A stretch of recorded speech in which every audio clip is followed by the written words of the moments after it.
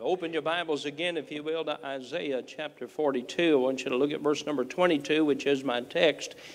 Many of you have been a part of our church for a good number of years, and you know that I have preached consistently through the years a common theme on my love for America and America's Christian heritage and it being my 32nd anniversary as pastor, I want to preach on that theme again tonight, as I have many times through the years. I'm preaching tonight on this subject very simply my heart for revival uh, in America. Isaiah said in verse number 22 But this is a people robbed and spoiled. They are all at they they are all of them snared in holes, and they are hid in prison houses. They are for a prey, and none delivereth for a spoil, and none saith, Restore. Heavenly Father, I pray that you'd bless the preaching of your word tonight. A hunger for the presence and power of the Holy Spirit. I pray that you would use this message in the minds and hearts of every person, Lord, from the youngest to the oldest, uh, those that are here in the auditorium this evening, and the many, many people that will watch this program uh, and see it across our state and across our nation. All the need is great, and Lord, I'm glad I serve a God that can. And so tonight, I pray that you'd bless the preaching. In Jesus' name I pray. Amen. Anytime I hear a statement, read a book, or hear a sermon about revival, I wonder what that writer or what that speaker, how they define the word revival. Whether that is a revival in a person's life a revival in a church or even a national revival. Some would use the word revival to refer to an emotional stir. Some would use it to refer to a growth in a church, a quick or a great growth in a church. Some would use the uh, word revival or define the word revival as a spiritual awakening a time when people would get back to a personal relationship with God. For example, a daily prayer life, which all of us need. Reading the Word of God daily, which all of us need. Faithfully attending a church, which everyone should. A newfound trust and dependency on God, which we should all have. When I think of the word revival, I think of the word restore and what it means to restore something. Isaiah said, None saith restore. He was not interested in the nation of Israel being conserved as it was because it was a nation that was robbed and a nation that was spoiled. And he said, The people are for a prey. Folks just see them as an opportunity to make personal gain out of them. They are for a prey. And Isaiah said, There's no one that is saying, Restore. He was not interested in conservation, he was interested in restoration. Now, when I think of revival in America, which has been a burden of my heart for many years and so many things I've done to work and to see revival in our state, and I think we've seen a, a bit of that in our church and a bit of that in the churches that we've helped to start across the state. Brother uh, Hamlin is preaching today in Bowling Green and uh, preaching for Jared Young, and he said, I felt like I was at Clay's Mill, and he said there was such an excitement and a joy, and he said just a, just a happy place, and the place was filled. And that, that brings joy to my heart to know that we can multiply uh, what's going on in our church and training uh, young men for the ministry. But when I think of restoration, and please get the introduction, I think of the men that we refer to as our founders or our founding fathers. I think of their faith in God and how they expressed that faith in God in the founding documents of America. Not very many people have read, though it's a short read, the Mayflower Compact or the Declaration of Independence or the Constitution of the United States. And when you read those, you realize these are written by men of faith in God.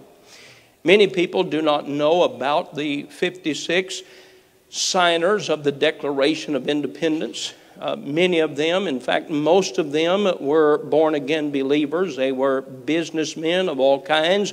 Uh, they were men of respect. They were men of decency. In fact, one of the men, uh, John Witherspoon, was a pastor of a church and also a soldier, and he loved his country. For example, when you read the second paragraph of the United States Declaration of Independence, it makes this statement we hold these truths to be self evident that all men are created equal, that they are endowed by their Creator with certain unalienable rights, that among these are life, liberty, and the pursuit of happiness. And that to secure these rights, governments are instituted among men, deriving their just powers from the consent of the governed that, when, uh, that whenever any form of government becomes destructive of these ends, when a government becomes destructive of these ends, what ends? That God is our creator and has created all men equal and that God is the giver of rights. And when the government comes to the place that they are destructive of these ends, it is the right of the people to alter or to abolish it and to institute new government, laying its foundation on such principles and organizing its powers in such form as to them shall seem most likely to affect their safety and happiness. A faith in God is not something that's being pushed on America by some uh, zealous minded preachers, but a faith in God is what our founders knew our nation and our rights were founded upon. Faith in God is not a new concept, it is the foundational concept of the United States of America. New concepts would be things that are not found to be self evident in nature. New concepts are those that are disruptors and corruptors of our nation's foundation. The first two paragraphs of the Declaration show how it is anchored in a solid foundation of at least three principles that are necessary for freedom anywhere in the world. First of all, all rights come from God. Second of all, the purpose of civil government is to secure those God given rights. And third of all, the power of civil government is given by the consent of the governed. America could never have a revival or a restoration until it knows where it came from. If you were going to restore an old car, you would have to know what that car looked like when it rolled off of the assembly line onto the showroom floor. And so, if we want to see a revival or a restoration of America, we're going to have to read history. And in reading history, you're going to find yourself reading the Word of God and the very principles our nation was founded upon. Take your Bibles and go with me to the book of Hosea, the Old Testament book of Hosea. Hosea, Joel, Amos, Obadiah, Jonah, Micah, all those little books together there. Hosea chapter 4 and verse number 6. And I'm going to preach at you for just a moment here. And so if you want to put on your asbestos jacket, you can go ahead and do that. I want to preach at you for a minute. The Bible says in Hosea chapter 4, I want you to see it. I want you to see it in verse number 6. My people are destroyed for lack of knowledge. Because thou hast rejected knowledge, I also reject thee, that thou shalt be no priest to me, seeing thou hast forgotten the law of thy God. I will also forget thy children, Americans and Christians included. We've gotten so busy in our work and our families and our making money and doing the things that we enjoy doing and our hobbies that we have not learned our history. We have not learned the foundation of our nation, and therefore it is being taken taken away and the foundations are being destroyed, and absolute Uh, uh, uh, lies and deception are being promoted in our nation, and many are believing it even in our higher institutions of learning, and we're destroyed because of a lack of knowledge. I believe with all of my heart, if you made Christians and you made Americans read the founding documents of America and you made them read the Bible, we would have not only a revival, we'd have a revolution. And those are similar. So many have gotten into the business of trying to make us think unnatural things are right or natural or accepted. And Hosea said it right when he said, My people are destroyed for a lack of knowledge. In reading that great little book, God in American History, you read how the divine intervention of God's hand brought about America's greatness largely because the people who sought to worship the Creator God in freedom. When you first ask the question, why did they even come to America? Why weren't they satisfied to live in the old country? Why were they coming? They were coming not just to seek the freedom of religion, as some would say, they were coming to seek to serve and to worship the God of heaven and the God of this book that we hold in our hands tonight, the King James Bible. This is interesting. Thomas Jefferson's early draft of the Declaration used the word derived. Benjamin Franklin and John Adams replaced that word with the phrase endowed by their Creator, which meant that the Declaration rested upon the rights as God had given them, not as man understood them to be. America's founders chose to establish the new nation upon the natural laws of God, not upon the laws and ideas of man. Later, Congress inserted the adjective certain in the place of Jefferson's inherent, which Noah Webster in 1828 described the meaning of certain as existing in something else so as to be inseparable from it. Let me say it again existing in something else. Our rights existed in something else that it cannot be separated from, and our rights exist because of our Creator God has given us our inalienable rights, and they cannot be separated from them. And to separate God from our rights is to destroy our nation. This means that once God was identified as the giver of those rights, then the word certain became appropriate because whatever God had given to mankind was, according to Webster's uh, uh, definition, it was sure, it was true, it was undoubted, it was unquestionable, existing in fact and truth. Obviously, these and other deliberate changes in word and meaning in the Declaration of Independence had a monumental impact on the minds and hearts of every person who contributed to the Constitution. The Declaration of Independence and the United States Constitution are really not difficult to read. I want to issue a challenge, as I have many times. I want to challenge you to read, or it may uh, interest you that you can listen to the Declaration of Independence and you can listen to uh, the United States Constitution. Let me give you some things that'll help you just to, uh, just to put it in your mind and, and uh, divide it up so you can listen or read it and understand it. There are 27 rights uh, protected in the Bill of Rights, 27. There are 27 charges made against King George III in the Declaration. There are 27 amendments to the Constitution. The Declaration has five parts. It has the preamble, which is beautifully written. It has these assertions. There's six. It asserts, first of all, that all men are created equal. Folks, that solves the, the, the, racial divides. That solves it.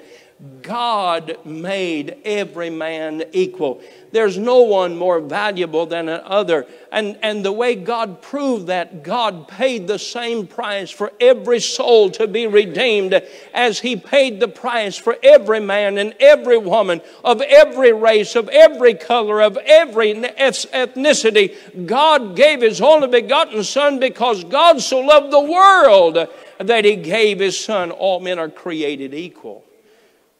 Second of all, that we're endowed by our, uh, by our Creator with certain unalienable rights. Third, that, all, all, that among these are life, liberty, and the pursuit of happiness. Fourth, that to secure these rights, governments are instituted among men. Number five, government gets its rights from the consent of the governed. Number six, when the government begins to destroy those rights, it is the right of the people to destroy or start a new government. The third part are the charges against King George. There are three of them. The Declaration has, the third part, are the charges against King George. There are 27 acts of tyranny committed by King George III against the colonists over a 15 year period. Number four, there is the defense. Two paragraphs list the actions the colonists took to peacefully resolve their differences with the king. And then, number five, there's the declaration. The last paragraph is the actual declaration of independence from both the king and from his parliament. The Constitution is divided into seven parts. I'm challenging you, if you haven't read it or haven't read it recently or listened to it, everybody ought to read. You, you, see, you can take away something from someone if they don't know what it is or they don't know the value of it. Folks, if we read the documents and the, and the foundation of our nation, we would be fighting for our country and we would be fighting for this country to see an old time revival or a restoration back to what's we, what we once had. For example, Article 1 is the job description of Congress the legislative branch. Article 2 is the job description of the president, the executive branch. Article 3 is the job description of the Supreme Court, the judiciary branch. Article 4 describes the role of the states and their relationship with the federal government. Some folks think that the federal government give the, eh, give the states the right to exist when the opposite is true. The states give the federal government the right to exist.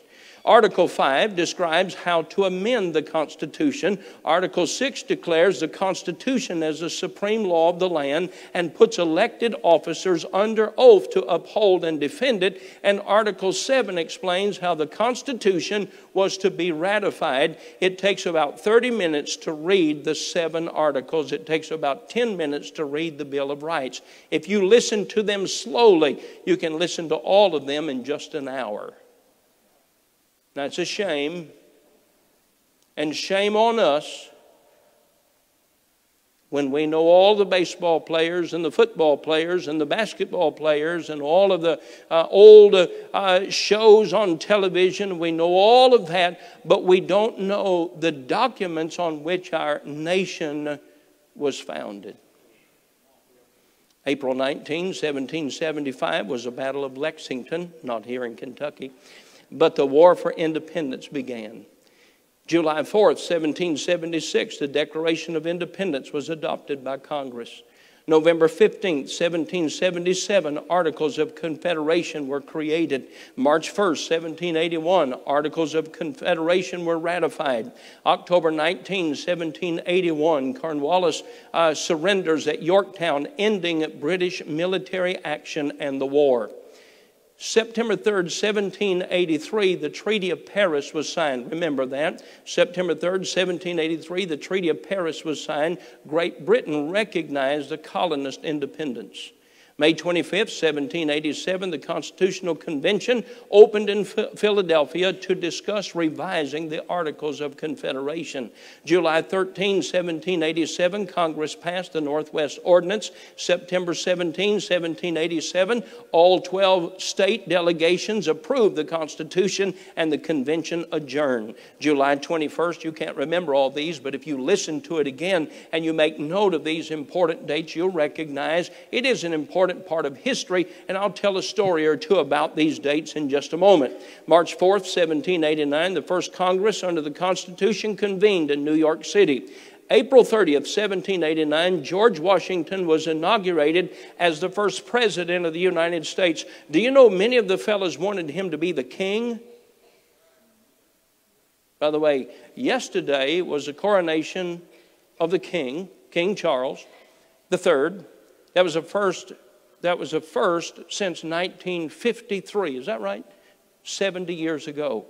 You want to watch something that is almost spiritual in behavior. Watch that, uh, watch that coronation. I keep saying inauguration. Watch that coronation.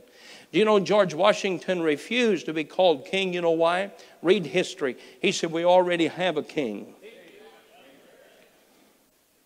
and he allowed himself to be called the President, the first of the United States. June 8, 1789, James Madison proposed a Bill of Rights in the House of Representatives. September 24, 1789, Congress establishes a Supreme Court. There were 13 district courts, three uh, uh, ad hoc circuit courts, and the position of Attorney General was established September 24, 1789. The war with Britain cut off the supply of Bibles to the United States. On September 11, 1777, Congress, not the Gideons,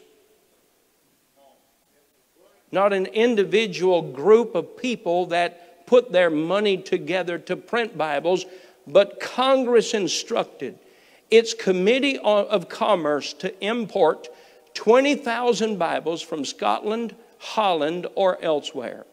January 21st, 1781, Philadelphia printer Robert Aitken petitioned Congress to officially sanction a publication of the Old and New Testament, which he was preparing at his own expense. Congress said, and I quote, We highly approve the pious and laudable undertaking of Mr. Aitken as subservient to the interest of religion in this country, and they recommend this edition of the Bible to be a uh, Bible to the inhabitants of the United States. Congress made sure that Bibles were available in America. Now, some would make you think today that faith in God or religion is something that is being forced on America by a few religious zealots. That's not true. America was founded on a faith in God. I said America was founded on a faith in God. America was founded on a faith in God. That's not, that's not a statement of emotion that's proven by the founding documents and the many artifacts of American history. The Supreme Court of the United States declared, after reviewing the writings and founding documents of America as late as 1892, I quote, This is a Christian nation.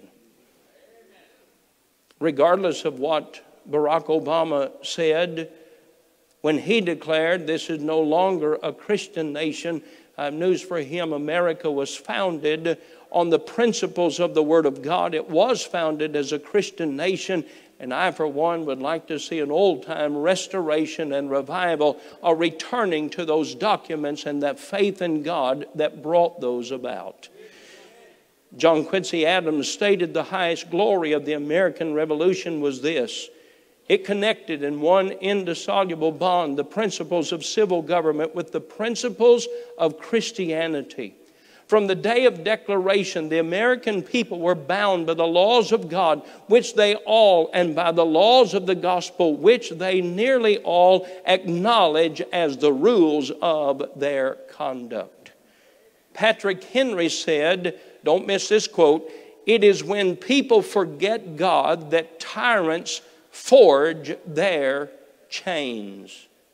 How sad our states across the nation, including Kentucky, had to pass legislation to protect children from some of what uh, from some of the teachers and what they wanted to teach them to sexualize the children. What a sad day in America. And then that same crowd will fight and say, God has no business in these halls. I've got news for you America was founded on the principles of the Word of God. Read of the colonial period of America, 1606 to the time of, uh, of the Declaration, and you'll find that these colonies were founded by those who worked to spread the gospel of the Lord Jesus. And you read the history and where the 56 signers of the Declaration came from. They came from those colonies that were working. A church was built first, and the school was in the church, and the Bible was the first textbook. And that was the center of those towns as they worked to reach people with the gospel of Jesus Christ.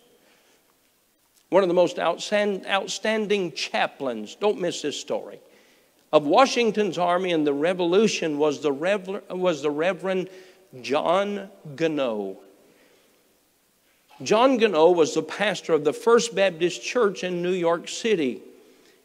After the war started, Pastor John Gano joined the American forces. It is said that many members of his church volunteered for service when Gano left for the army.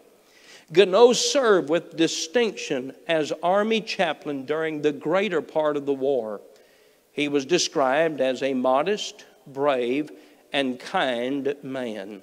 He is reported to have been under fire in battle many times, specifically stated on Chatterton's Hill, where 4,000 British moved against 1,400 Patriots. The fight was comparatively short and sharp. The part of the, uh, part of the, of the brigade became panic stricken, and some of the men started to run, throwing down their arms. Chaplain Gano left his position as chaplain. He made his way quickly to the front lines, encouraging the men and ministering to the wounded. It is said that John Gano and General George Washington were not only pers- close, uh, uh, pers- uh, personal and close friends, it is documented that John Gano baptized the great American general George Washington in Valley Forge. In Valley Forge. April 19, 1783, the peace treaty with England was announced. There was a great celebration George Washington asked John Gano to give the prayer of thanksgiving with the signing of the peace treaty. After the war, Gano returned, 1784, to his pastorate in New York City. He had been gone for eight years, and what once was a church of 200 members, only 37 people remained. The British had taken his church and had turned it into a stable for horses. He was faced with many difficult challenges, but he continued his work until he died August 10, 1804. Here's an interesting tidbit for us John Gano died in the state of Kentucky.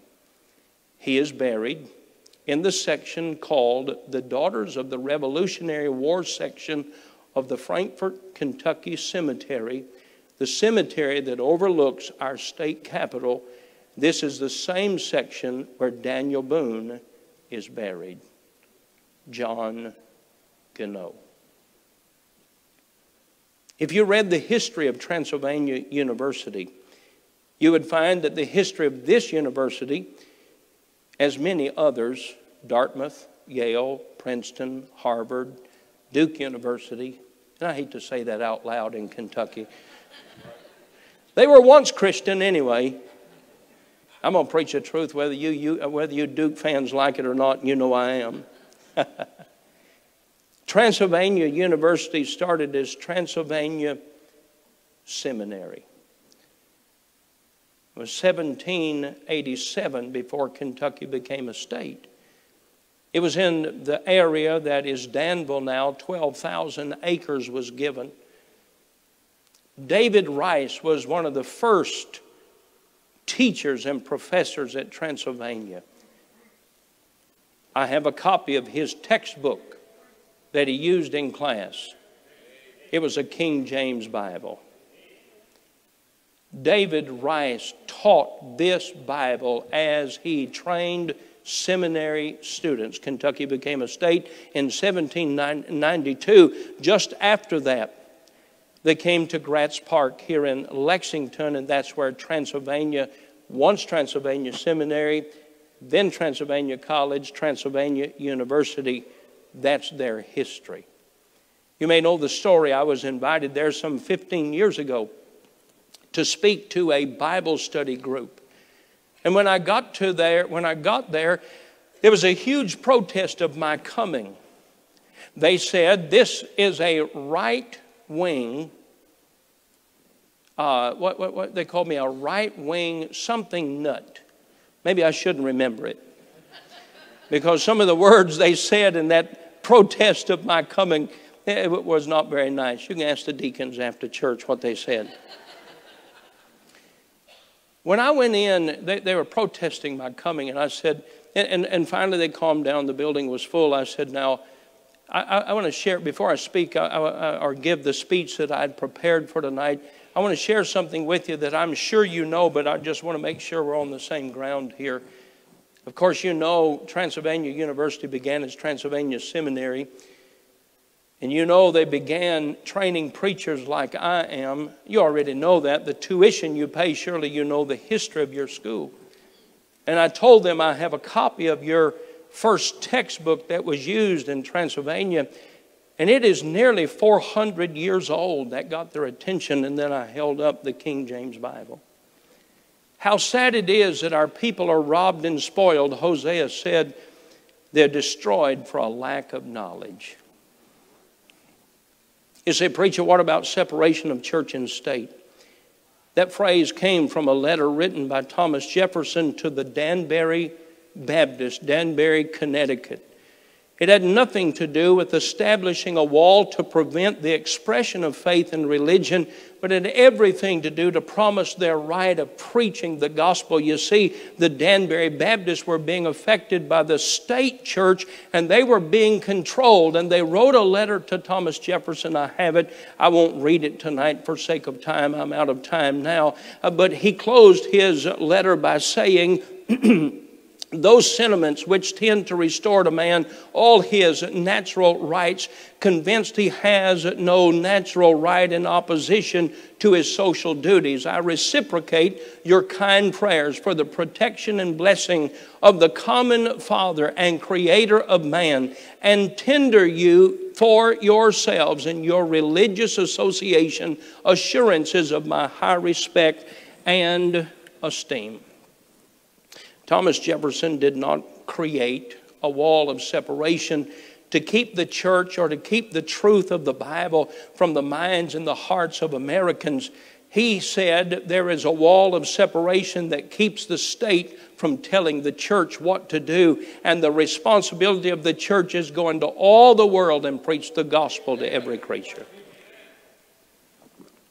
We cannot be restored until we know what we look like originally. We cannot have revival unless we know what we're supposed to be like. And so I say tonight these things. Let's get back to reading the Word of God. Let's get back to reading our founding documents. I wish I had time just sit down with you and go through the parallel concepts between the United States Constitution and the Bible and where all of the phrases came from in the Bible, such as in order to form a more perfect union, establish justice, ensure domestic uh, tranquility, promote the general welfare, provide for the common defense, all of that coming from Scripture. Spread the gospel of Jesus Christ. That's the job of the church. Now, I want to say that's not the responsibility of government. They wield a sword of judgment. We wield the sword of the Word of God. It's not the government's job, and you've heard me say it many times. Uh, the, the, the problem with our nation is a lack of the church working to win people to Christ. And so I'll say this and I'll finish. We must spread the gospel of Christ. What is it? All have sinned and come short of the glory of God. There's a penalty for sin, for the wages of sin is death. Jesus paid our penalty for us. God commendeth his love toward us in that while we're yet sinners, Christ died for us. And then we must give the gospel that we must accept him by faith as our personal Savior. That's the work of the church. That's the work of the missionary. That's the work of the evangelist. That's the work of the local church. And so, once again, tonight, as I close 32 years as a pastor, I call again our attention and our attendance to the fact we can't have a restoration until we know where we came from.